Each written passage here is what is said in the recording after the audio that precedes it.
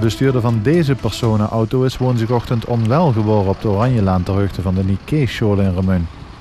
De auto raakte een lantaarnpaal en kwam neven de weg in de struik tot stilstand.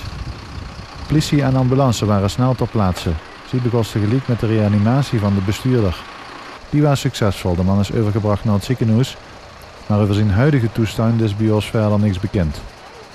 Veel mensen bij Ongerschool jeugd waren getuigen van het ongeval en de reanimatie. Bij het verkeersongeval waren verder geen weggebroekers betrokken. De Oranjelaan is gedeeltelijk afgesloten geweest voor het doorgaande verkeer.